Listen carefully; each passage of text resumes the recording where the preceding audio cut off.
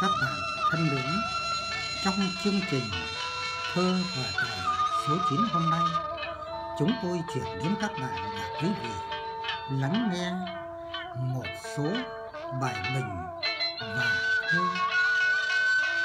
Đầu tiên, chúng tôi xin chuyển đến các bạn bài thơ Bạn đến chơi nhà của Nguyễn Thị Hồng Thúy. Trước tiên, chúng tôi xin sơ lược đôi điều về tác giả Nguyễn Thị Hồng Thúy. Nguyễn Thị Hồng Thúy sinh năm 1952 ở xã Kim Sơn, Ninh Bình. Chú quán xã Tiền Phong, huyện Yên Dũng, tỉnh Bắc Giang là giáo viên về hưu. Cuộc sống điền viên, hạnh phúc người người chồng cũng đã nghỉ hưu dưới chân núi Nam Điền với bà con cô xóm bên cạnh con đường quốc lộ 284 chạy qua. Vốn kiến thức về văn chương của chị đã tích lũy bao năm còn trên bục giảng. Từ khi vào câu lạc bộ sáng tác văn học nghệ thuật Việt Nam, chị mới phát huy được năng khiếu văn thơ. Mặc dù bệnh huyết áp cao làm ảnh hưởng đến sức khỏe, song những thời gian rảnh rỗi, chị lại miệt mài sáng tác. Những cảm nghĩ dung dị đời thường, những kỷ niệm vây đời trong cuộc sống, để lại phần nào những tư duy còn lắng động để đưa vào trang giấy trắng làm kỷ niệm giải bày với đời cho thanh thoát cõi lòng. Những cảm xúc ấy đã trở thành thơ. Thơ đến với chị cũng ngẫu nhiên thôi, mà chắc rằng chỉ có thơ mới nói lên được tiếng lòng của mình. Thế là các vần thơ ra đời, nó cũng gập ghềnh khúc khuỷu như chính cuộc đời của chị vậy. Đọc trong tập 3 Lưu luyến tình quê của chị, chúng tôi có cảm nghĩ trong hai tập thơ đầu chị chưa giải bày được tư duy còn lắng động trong tâm hồn thì tập 3 phần nào chị đã thổ lộ những dây dứt bằng bút pháp ngôn từ, sự truyền cảm trong những vần thơ. Đã là những công lao to lớn cùng miệt mài với thời gian để nghĩ suy trở thành những vần thơ gần gũi cùng người đọc đồng cảm với mình. Hôm nay, chúng tôi xin trình bày bài thơ bạn đến chơi nhà tác giả nguyễn thị hồng thúy. Hôm nay bạn đến chơi nhà chơi, tới cổng mà đã nói cười xôn xao, mãi vui ngắm cảnh đường vào, nhìn cảnh mà thấy ấm bao nghĩa tình. Chè xanh xanh tốt bạt ngàn, xen kẽ cùng với các hàng địa lan màu đỏ, hoa trắng nở mau, tú cầu vàng, đỏ bên nhau thẳng hàng. Kế tiếp là cây mai vàng, màu hoa vàng rực, đón xuân sang. Na xiêm dáng đứng dịu dàng, bên cây sung trúc dáng sang mời vào. Cây hòe cỏ thụ xanh cao, phong lan xanh tốt, bên nhau sống cùng. Phía trước, hai cây lộc vừng cây tỏa bóng mát, bốn mùa nở hoa. Chùm dài, đỏ đẹp, thắm sao. Bông hoa rụng xuống, đón chào bình minh. Nắng vàng tỏa xuống lung linh, trông như thảm cỏ in hình sắc hoa. Hương hoa nhờ gió bay xa rủ đàn ong bướm yêu hoa bay về. Đàn ong bướm lượn vui ghê, như một bản nhạc thu về đông sang. Cùng vui cất tiếng cười vang, cảnh nhà bạn đẹp ta mang về nhà.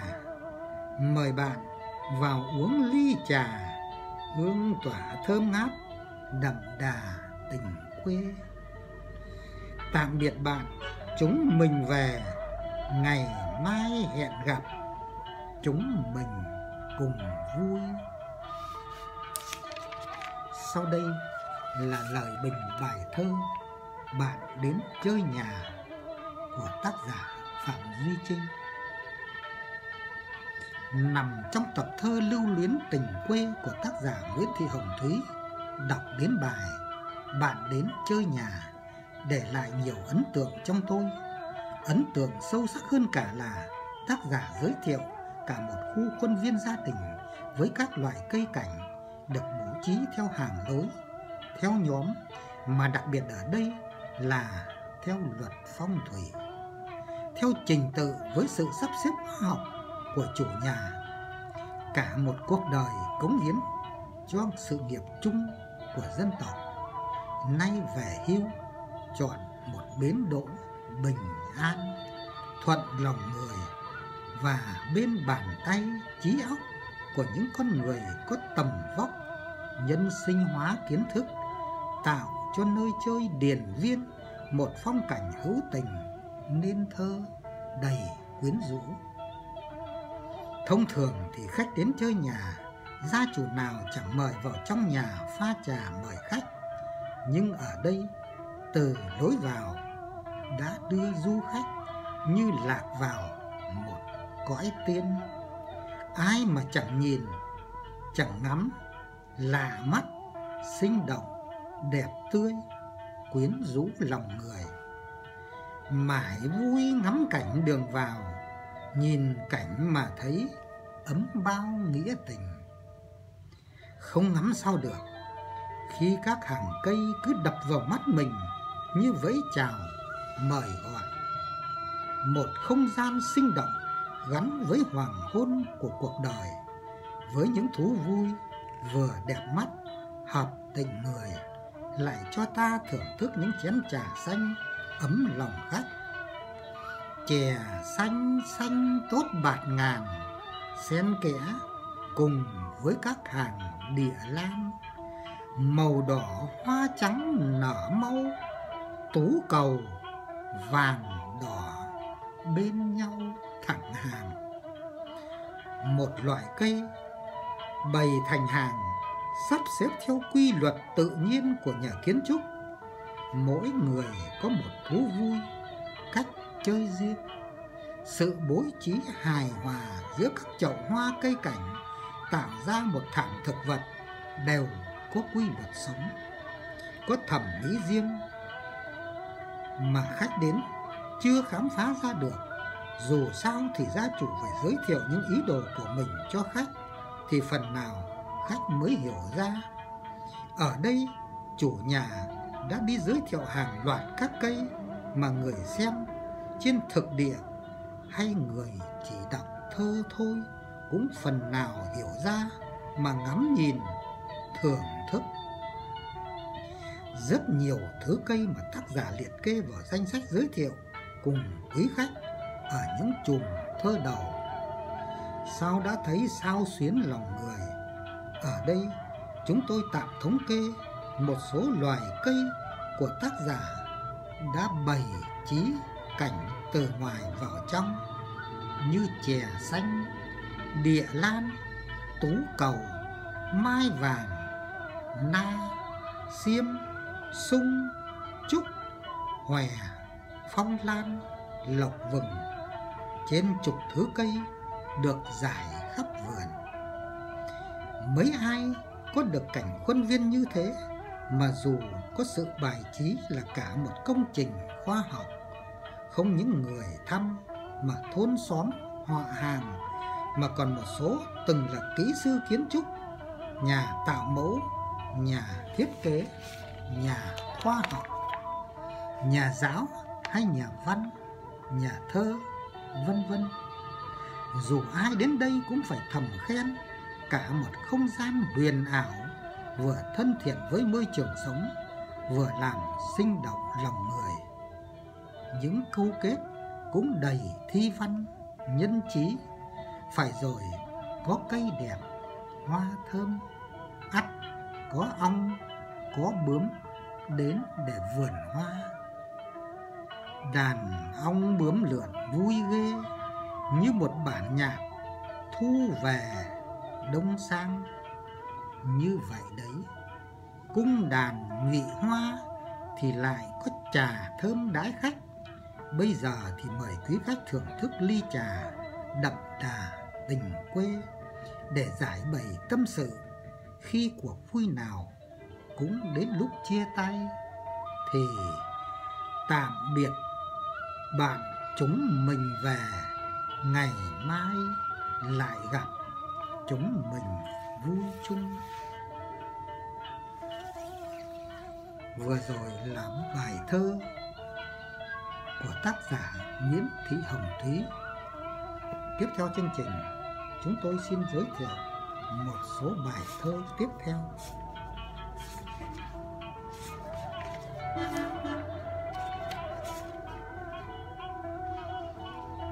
Tiếp theo chương trình, chúng tôi xin giới thiệu cùng các bạn bài Đừng để dối lòng của nhà thơ Phạm Duy Trinh, nhà xuất bản Văn hóa Thông tin ấn hành năm 2014. Sau đây là nội dung. Đừng để dối lòng. Em ơi, sao lại dối lòng? Để cho đôi mắt chìm trong dáng chiều. Con tim mách bảo điều yêu, Lặng thầm để nhớ cho nhiều nghĩ suy. Chắc rằng cũng chẳng so bì, Được thì toại nguyện Mất gì đâu em. Đừng cho màn rủ buông rèm Mà lòng phải trói Để xem sự đời. Cứ buông neo đầu đôi nơi Để còn hưởng thụ bên người mình yêu. Có chăng dây dứt đôi điều So đi tính lại Được nhiều hơn thua? Phải đâu là cuộc ganh đua mà suy mà tính được thua với lòng. Đã rồi thì cứ cho xong, lựa tình mà tính, trải lòng buông neo. Con thuyền nhẹ đẩy mái chiều ra sông để lướt, nhẹ theo gió về. Hưởng dòng nước mát hương quê, cho đời thanh thản, đi về có nhau.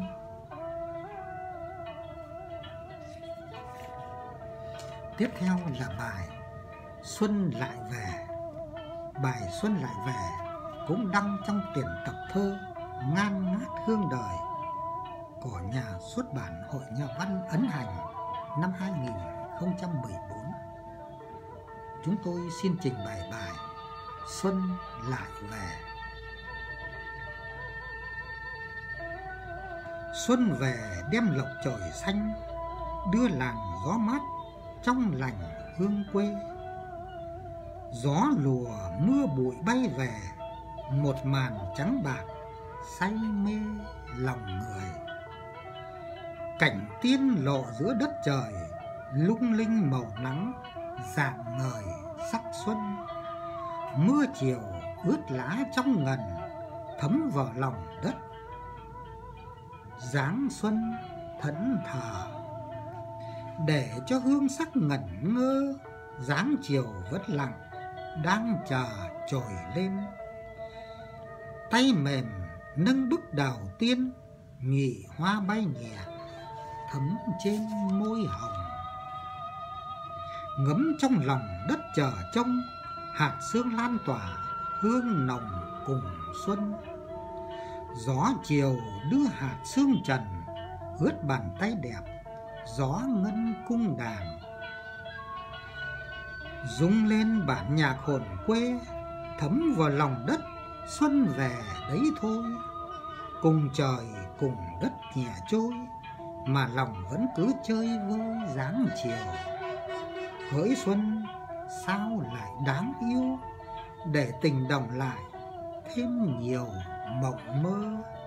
Tiễn xuân, đâu có bao giờ chỉ mong xuân đến, lặng chờ cùng xuân. Tiếp theo là bài chiêm ngưỡng sắc hoa.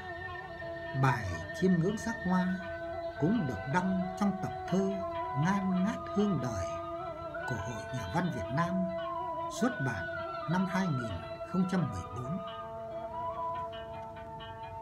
sau đây là nội dung bài chiêm ngưỡng sắc hoa. Cành hoa đẹp, hương theo làn gió thổi, thoảng nhẹ thôi quẹt với dáng chiều tà. Bên khung nhà, hương hoa còn quyến rũ, hút hồn ta theo bóng rủ đam mê. Hoa để ngắm, đâu đêm về mà đợi, cho lòng ta cứ sao xuyến bồi hồi. Tay nâng nhẹ, bên khoảng trời yên ả. Hưởng hương này, thoang thoảng gió bay. Nâng cánh nhỏ, sắc hoa này thấm mãi. Ngắm trong tay hương vị của thiên thần, mùi hoa đấy cứ ngất ngây lan tỏa cho hồn ta đắm sắc vị hương nhà. Nhẹ tay thôi, kẻo hoa rơi xuống đất. Hưởng mùi hương say đắm mãi cánh hồng. Cứ giữ lấy như quẹn vòng tay ấm. Để ngưỡng chiêm rung động trái tim nàng. Có bao giờ mà cảm thấy xốn sang là sắc thắm đã chạm vào tay đẹp muốn để lâu, cánh hoa này đang khép, giữ vòng tay cho hương sắc dịu hiền. Cảm ơn trời đã đưa nàng hoa tới, cho cuộc đời mang lại sắc hoa tươi. Ta muốn mãi vòng tay nàng dịu ngọt, ấp nụ hoa, hưởng mãi sắc xuân này. Bài thơ được sáng tác tháng 1 năm 2012 chương trình hôm nay đến đây tạm dừng. Xin kính chào các bạn.